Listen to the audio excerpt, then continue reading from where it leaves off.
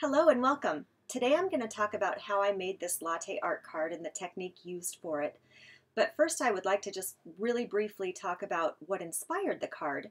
And I wanted to make one card for two different challenges this week. That is a really fun thing to do if you ever really want to challenge yourself, is try to make one card that fits into two challenges. Uh, I did this for the Coffee Lovers blog, and they needed a summer, you know, a coffee card with kind of a summery feel to it. And so I thought that the um, latte art, like when you go get a coffee and they do something cool with the um, the cream on top or crema on top, uh, that's kind of what inspired this. And then for the Simon Says Stamp Monday Challenge, you could use any theme, but you just needed to make sure that you used a stencil. So what that resulted in was a very cool textured card. Uh, this is kind of a hybrid stencil because we're using a stencil mask layer created from a die, but we're not removing all of the layers. So um, it's just got such a rich, unique texture. When you look at it, you don't know how it was made. Is it is it embossed? Is it debossed? Is it, you know, it's one of those really cool cards. So I can't wait to show you how I did this. The die I used to create the mask was the Mod Flower background by Poppystamps. And the uh, rectangle layer basic set was used to create the frame around the outer edge. And that frame is actually very, it has a real important purpose to it. It keeps that die that we're not removing secured so that, um, you know, those edge pieces don't come up. And so that's why I did the frame. I'm using the Memory Box Large Coffee on the Go. And I embossed the sleeve with the Cuttlebug Frills, um, one of the little elements from that kit. And it's just a cute little swirl uh, that I really liked. The Inka Inkadinkado stamping mask paper um, is a, oh, I just love using this. It's fun. It's paper on one side with an adhesive back. And so we're going to use this kind of uniquely. I cut out a four and a quarter by five and a half inch piece of cardstock and piece of mask.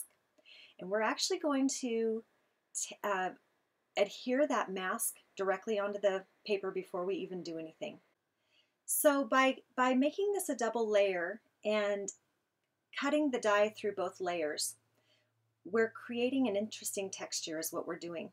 And with this die, I did use the intricate die plate just to make sure that it was all cut. I was kind of careful when I removed it just in case. And then I just pressed it down to make sure there was good adhesion for whatever we were not going to remove. So because we're working with two layers already, I created a third layer, something for that second layer to adhere to, by using the Elizabeth Craft Design double-sided adhesive. And this was also going to make it very easy just to stick onto the card base when I was done but you could just use tape if you didn't have this um, and, and just uh, tape that back really well. And then just make sure it's adhered. I, I just kind of rubbed it a little bit more and then I trimmed the edges. Attaching the elements to this card doesn't take any time at all. This card is all in the prep work and it's really important to take your time and enjoy the process. I poked out every little tiny hole so that there would be a nice clean separation between the die. And I just took my time doing that. Now with my first card I made, um, the, even the mask did not come off. In the second card you'll see right here, the outside layer, there's still, all the pieces are glued down, but the outside layer came up. That's no big deal. I probably could have glued down this portion because I wasn't going to remove any of the outside frame. Just those inter pieces were going to be in different layers. So you could glue that down, but that frame is going to keep that, that from coming up. So um, I just didn't glue it down. There are there were just a couple pieces that stuck in the die, which was fine. I just flipped the die over so that they could poke out into place there and it just made it a lot easier. So once all the pieces are back in and adhered, it's time for the fun part. And I had so much fun making this. I started off with Distress Inks, Ground uh, Espresso Vintage Photo, and Antique Linen. And I just you know, every card's going to come out different here. I just used all three colors and would color, remove a layer, color some more, color a new layer. The important thing here is just to have fun. Yep, it's a mess, but it is so much fun.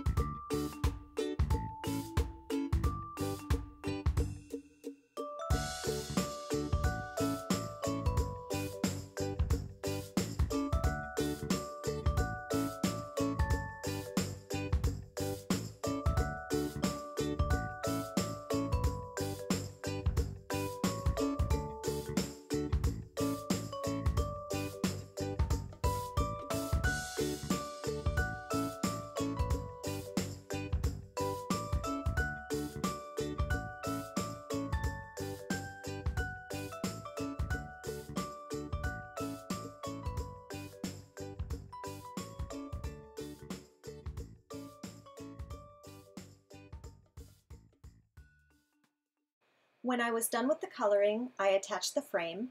This would have been a great time to ink up that ground espresso and make the little cocoa splatters throughout. I waited to the end to do that. Distress inks make a great weight for um, things to dry under, so they, they get some weight on them to dry flat. I used three layers to do the coffee mug and the sleeve and the lid. And I just adhered them all and the embossed section of the uh, sleeve, one on the outside. Using the antique linen distress ink, I just went around the edge just to kind of help it pop just a little bit from the background. And I, I noticed between the two cards that I did, the coffee mug stood out more if I left a little bit more white space in there. I did want to create a little bit of a shadow with that antique linen on the cup, but um, uh, I did leave the second one a little bit wider and I liked that better. Using my finger, I just um, went over the embossed section to help that stand out. Tiny bit around the lid, and then I glued it all together. And a tiny bit of worn lipstick applied with my finger for the fingerprints to create the lipstick on the lid effect. After I glued it all together, I did attach some Swarovski crystals. Um, they were kind of a bluish green, which really added a nice um, pop of color. And between that color and the flowers, it helped with that summery feel I was trying to achieve. I applied the uh, mug on with pop dots so that it would sit up off the edge. And then it was time to attach the card to the card base. All I had to do was remove the backing to the double-sided adhesive and stick it on. So then I went ahead and did the little cocoa splatters. And like I said before, that could have been done earlier in the video. Probably would have been better to do it that way, but it, it'll work out either way if you do forget. So that was it. That is the latte art card. And again, it was so much fun. And this made a great gift for a coworker. I took a little uh, gift certificate for a coffee for her and told her how much I appreciated her. So I hope you guys have a great day and thank you again for stopping by.